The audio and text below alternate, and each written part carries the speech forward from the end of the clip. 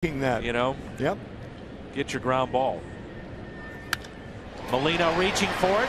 Out to left. Schwarber is there. Catch is made. Diaz will tag up. This makes it a 4-1 St. Louis lead on the RBI from Yadier Molina.